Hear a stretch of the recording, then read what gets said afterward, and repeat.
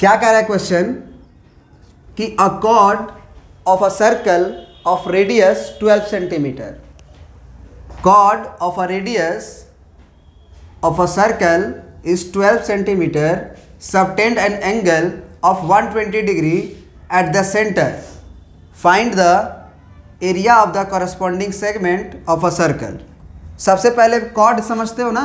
Circle का? तो circle का एक कॉर्ड है। वो किस और उस सर्कल का रेडियस कितना दिया है हमें?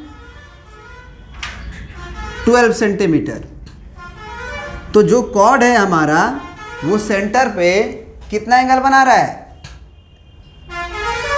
120 डिग्री. मतलब ये पूरा एंगल हमें कितना दिया है? 120 डिग्री. आगे पढ़ो. कह रहा है कि find the area of the corresponding segment of a circle तो सेगमेंट पढ़ाए थे ना? रोटी का टुकड़ा। रोटी का जो टुकड़ा होता है, वही क्या होता है हमारा? सेगमेंट आ सेक्टर होगा तब? सेक्टर होगा तो ये पूरा लेना होगा। यहाँ से लेके नीचे तक। ये पूरा लेना पड़ेगा, है कि नहीं? तो इसका मतलब रोटी का टुकड़ा जो है सेगमेंट होता है सर्कल के सेगमेंट को हम लोग बोलते हैं। जैसे लाइन सेगमेंट का मतलब लाइन का टुकड़ा, उसी तरह से सर्कल का सेगमेंट का मतलब सर्कल का टुकड़ा मतलब इसका एरिया निकालना है। तो हम क्या बोले थे इसका एरिया निकालने के लिए? फॉर्मूला क्या था? Area of segment is equal to क्या होता था? जरा बताओ। एरिया ऑफ़ पहले होता था sector minus area of triangle O A B O A B का ट्रेंगल का एरिया घटा देते थे सेक्टर के एरिया में से, याद करो। तो ये सेक्टर पूरा हुआ करता था, इस पूरे के एरिया में से हम लोग ट्रेंगल का जो एरिया है ऊपर वाला, अगर हटा देंगे तो हमारा रिक्वायर रिक्वायर्ड एरिया क्या हो जाएगा? निकल जाएगा। तो इसके लिए क्या होता था फार्मूला तो एरिया ऑफ़ सेक्टर का फार्मूला क्या होता था भाई? थीटा बाई तीन सौ साठ इंटू पाई आर स्क्वायर फिर माइनस एरिया ऑफ़ ट्रेंगल क्या बताए थे? One by two into r square sine theta है ना? बढ़िया है। बहुत बहुत बढ़िया है। यहाँ से क्या करेंगे? थीटा का वैल्यू क्या लेंगे? One twenty by three hundred sixty. Pi का वैल्यू भाई साहब ने क्या बोला है लेने के लिए? तो three point one four. Radius जी क्या बोले हैं भैया जी? ट्वेल्व। तो twelve into twelve minus one by two r square. जरा बताओ, साइन एक सौ बीस डिग्री का वैल्यू जानते हो? Sine one hundred twenty degree का वैल्यू जानते हो? तो याद करो जब हम लोग फार्मूला प्रूफ किए थे, ट्रेंगल का area one by two r square sine theta तो तुम्हें याद है कि साइन थीटा कैसे आया था? Two sine theta into cos theta से। आया था कि नहीं? जो एरिया ऑफ़ ट्रेंगल आया था हमारा, वो one by two r square के बाद ये पूरा हुआ करता था तो इसके जगह पे हम साइन थीटा लिखते थे। तो अब सॉरी सॉरी सॉरी सॉरी बहुत बड़ा sorry sine theta by two और कॉस थीटा बाई टू हुआ करता था। तब जो है हम इसको साइन थीटा लिखा करते थे। याद है? Two sine theta by two into cos theta by two तो वही करेंगे। थीटा का आधा कितना डिग्री होता है? साठ डिग्री होता है ना? तो ये जो साइन थीटा है, उसको हम two into sine theta by two into cos theta by two लिख देंगे। अब अगर 120 डिग्री रखेंगे तो 120 का आधा 60 120 का आधा 60 और हम साइन 60 डिग्री भी जानते हैं, और कॉस 60 डिग्री भी हम जानते हैं। ये ज़ीरो से ज़ीरो कट गया, बारह तिया, छत्तीस हुआ। हुआ ना? कहाँ पे दिक्कत है हो रहा है? अभी हम बोले ना कि साइन थीटा का फॉर्मूला याद रखना two sine theta by two into cos theta by two और जब हम एरिया ऑफ़ ट्रेंगल प्रूफ किए थे कि one by two r square sine theta उसमें ये साइन थीटा यहीं से आया होता है। One by two r square जो साइन थीटा होता है, उस साइन थीटा में ये लिखा होता था। हम बोले थे कि क्लास इलेवेंथ में ये प्रूफ किया जाएगा कि sine theta two sine theta by two into cos theta by two कैसे आता है और नहीं तो तुम साइन 120 डिग्री का वैल्यू रट लो। है ना? क्या होता है साइन 120 डिग्री का वैल्यू तो इसको लिख लो साइन 180 माइनस। कितना? 60 डिग्री। तो ये होता है साइन ऑफ़ 60 डिग्री। और साइन ऑफ़ 60 डिग्री कितना होता है जी?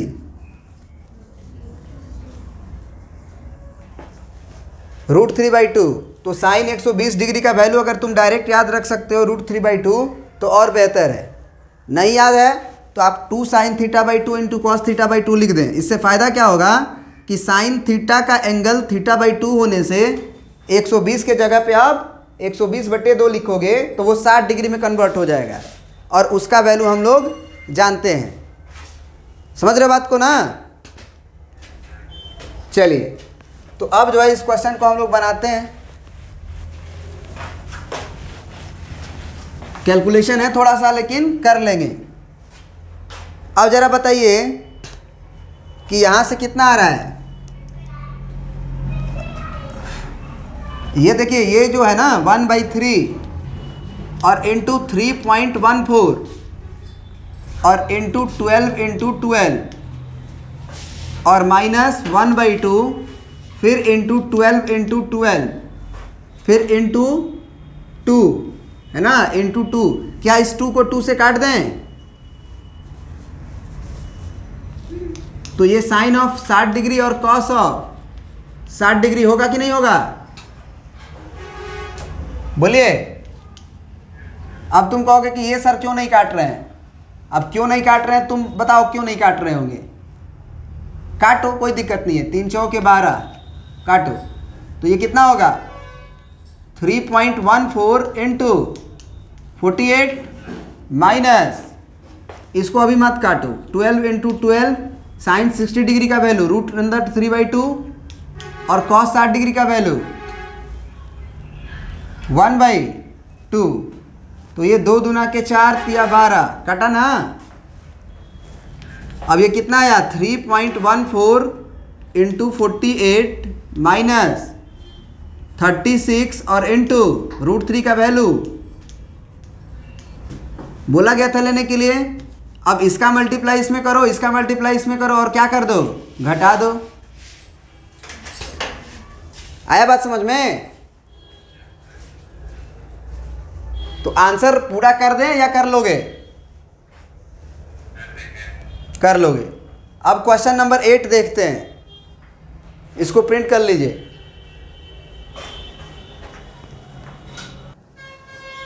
हाँ क्या है क्वेश्चन फिर से पढ़ते हैं।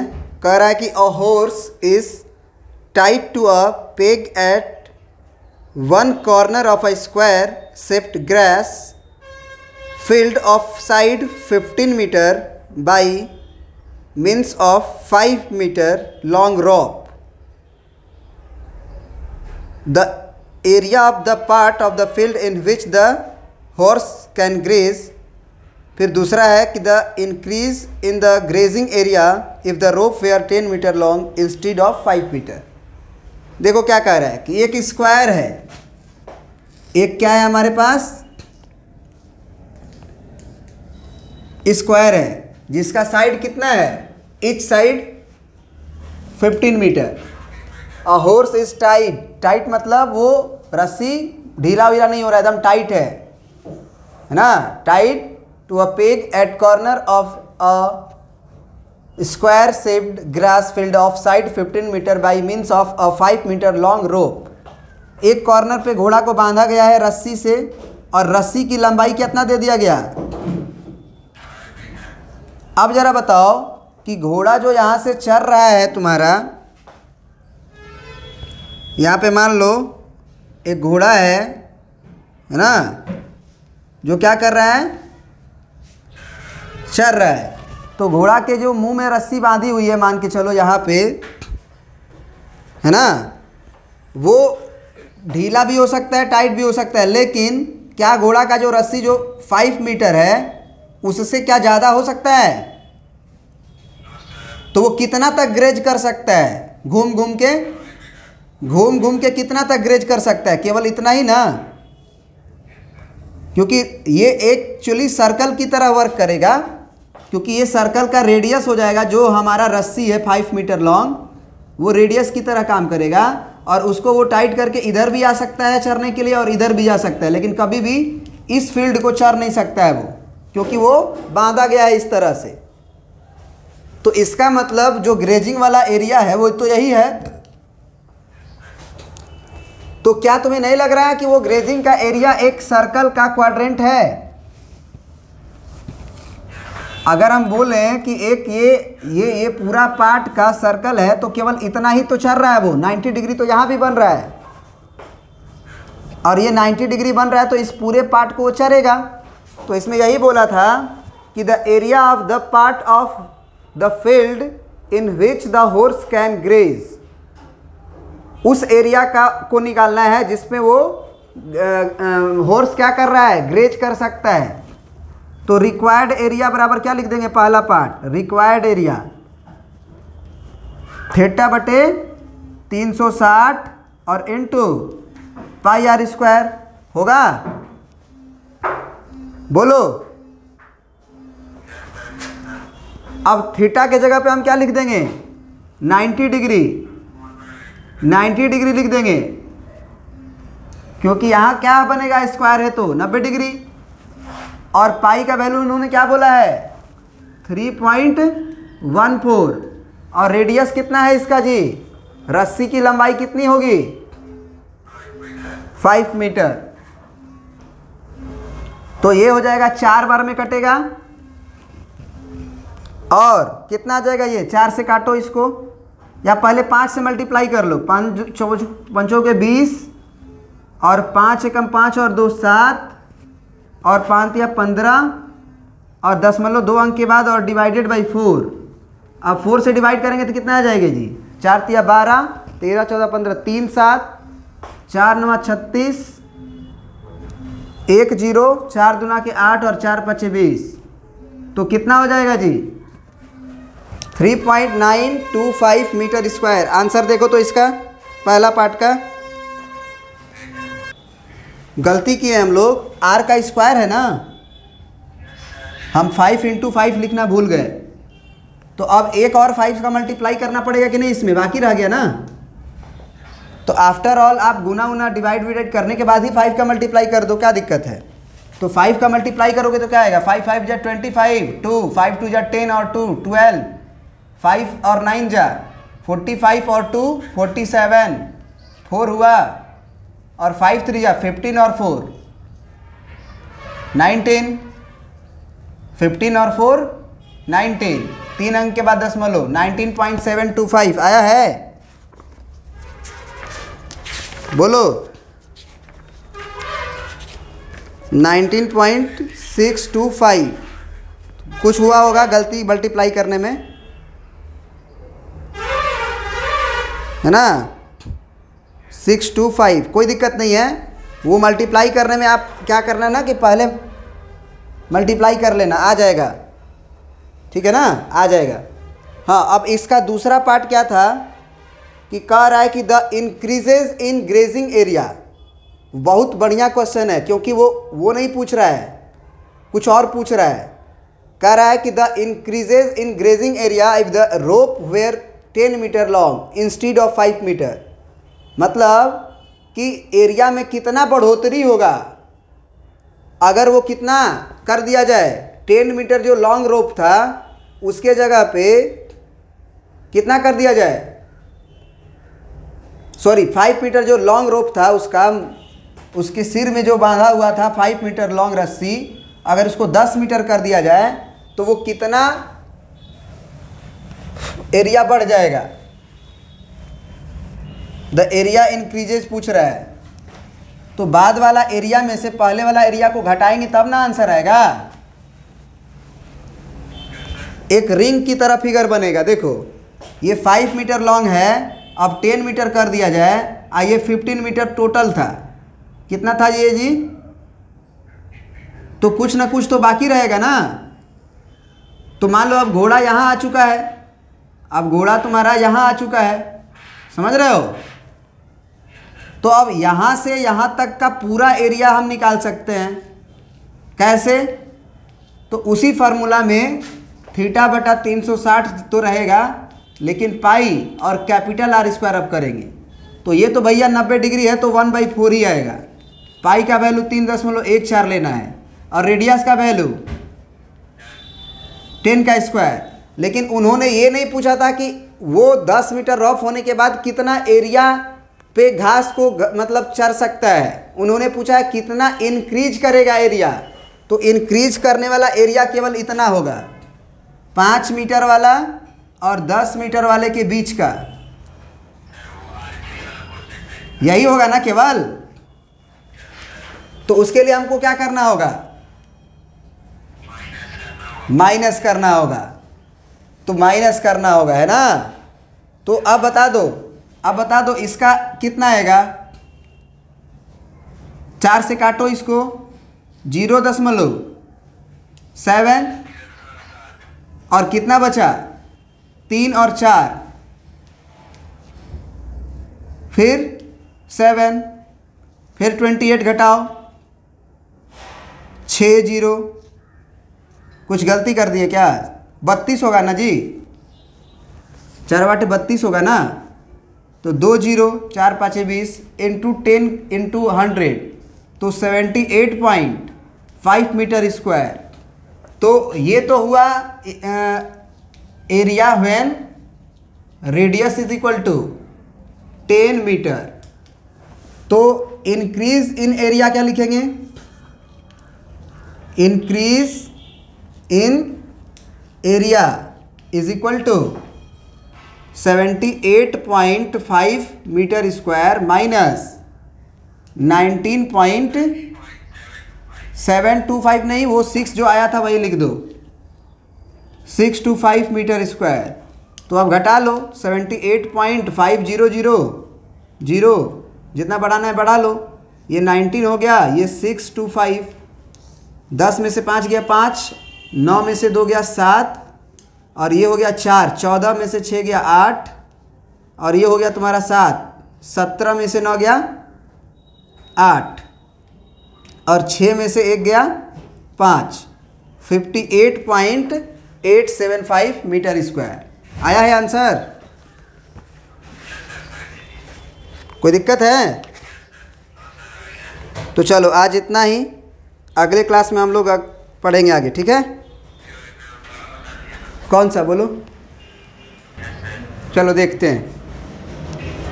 कह रहा कि find the area of sector of a circle with radius four centimetre and angle thirty degree sector है ना? तो सेक्टर का मतलब पता है ना? रोटी का टुकड़ा नहीं, रोटी का टुकड़ा सेगमेंट होता है। तो ये थर्टी डिग्री एंगल जो बन रहा है, उसका एरिया निकालना है हमको। है ना? क्या बोल रहे हो? पिज़्ज़ा का टुकड़ा है, सही बोल रहे हो। सेक्टर जो है वो पिज़्ज़ा का टुकड़ा है। Find the area of sector of a circle with radius four centimetre and of angle thirty degree also find the area of corresponding major sector तो ये हमारा माइनर सेक्टर है ना? तो जब तक हम बोले थे ना कि एरिया में माइनर वगैरह यूज़ ना करें, तब तक आपको एरिया किसका निकालना है? माइनर का ही। तो एरिया ऑफ़ सेक्टर में आप माइनर ही समझोगे। वो होगा थीटा बटे तीन सौ साठ into pi r square theta का वैल्यू थर्टी डिग्री तीन सौ साठ पाई का वैल्यू बोला है तीन दशमलव एक चार लो, और रेडियस का वैल्यू आपको चार बोला है तो फोर इंटू फोर ज़ीरो से ज़ीरो कट गया, और तीन एकम तीन तीन देना छः चार तिया बारह कट गया, है ना? अब पहले मल्टीप्लाई कर लो। चार चौ के सोलह, चार और एक पाँच, चार तिया बारह। फिर डिवाइड करो तीन से। तो कितना आएगा? तीन चौ के बारह दशमलव तीन, एकम तीन, दो और छः तीन आठ चौबीस, दो ज़ीरो, तीन छः के अठारह, बस, हो गया। तो इतना सेंटीमीटर स्क्वायर एरिया आया किस चीज़ का? माइनर सेक्टर का। अब मेजर के लिए दो तरीका है निकालने का। मेजर मतलब एरिया ऑफ़ मेजर सेक्टर का दो तरीका है। एरिया ऑफ़ हाँ हाँ हाँ हाँ। एरिया ऑफ़ मेजर सेक्टर का दो तरीका है। पहला तरीका है कि पूरा सर्कल का एरिया आप जानते हो कि नहीं जानते हो?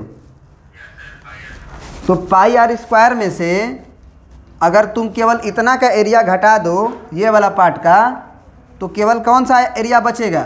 ये? क्योंकि पूरे सर्कल में से केवल पिज़्ज़ा का है, जो छोटा वाला पिज़्ज़ा है, उसका एरिया घटा रहे हो। तो उसका तो आ चुका है ना? Four point one eight six.